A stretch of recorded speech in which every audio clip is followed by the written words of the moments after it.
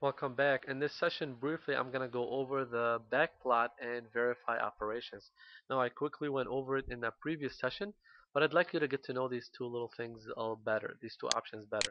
Now, I'm going to zoom out on my part a little bit, and I'm going to show you my stock. Now, after we've done our last operation, which was the facing, um, there's a few options here that I'd like you to get to know. First, there's select all operations. If we select it, it will select every operations we have. Right now, we only have one operation.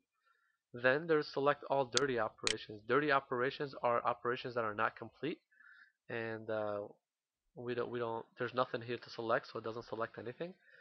Uh, regenerate all selected operations is that if if you do something to an operation, you you need to come back and select them all, and then regenerate all dirty operations.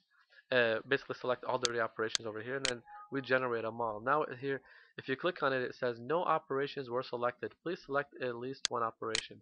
And that means there's nothing, there was no dirty operations. There was nothing wrong with any operation uh, for us to be to try to fix it. Now you come over here to the backplot selected operation and you left click on it. You're going to see this backplot dialog box appear. There's going to be a few things here to know. Now the first button it says display with color codes which means this bar right here will display in color codes depending on every operation. We only have one operation, so we'll only display in green. Now you're going to see our um, little uh, buttons over here that can click play and it actually machines our part, our uh, part for us. We can stop it at any time. We can fast forward it, start it over. And uh, the speed, we can control the speed right here with this button right here.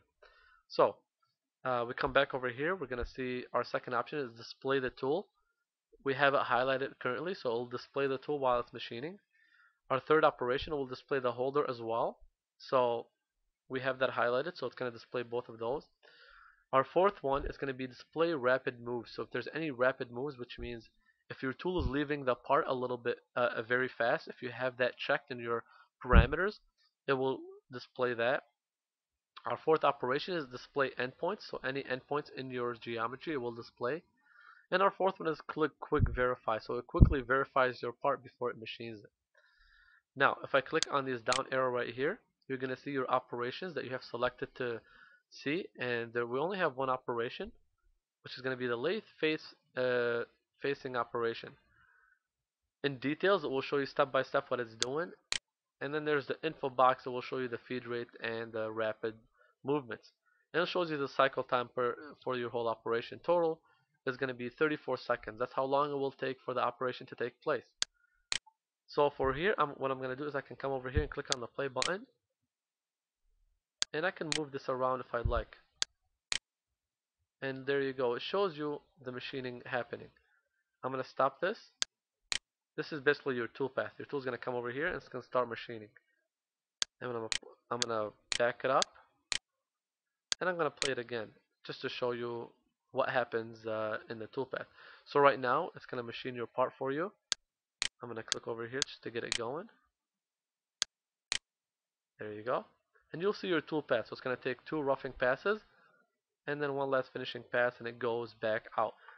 So basically comes in and because we have rapid moving out it's actually going to get out very very fast or as fast as the machine allows it to go and as you can see here it shows you your operation. This is basically just to, for you to verify uh, how your toolpath is happening. So come over here and click on the check mark and there you go. Now for the last but not least is the verify selected operation.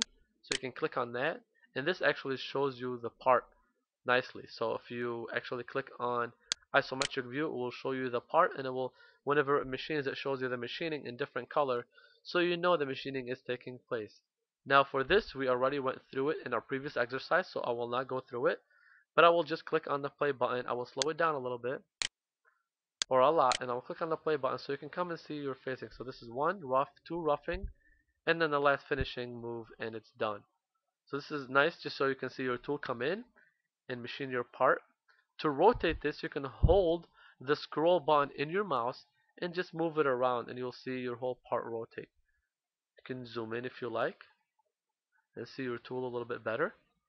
You can study your tool a little bit. And I'm going to click on isometric again. Click on OK and there you go. In this exercise you've learned how to use the, ver the backplot and the verify options as well as all the tools over here. Now the G1 is going to be where you generate your NC code, but we're going to learn that as the last thing in this chapter.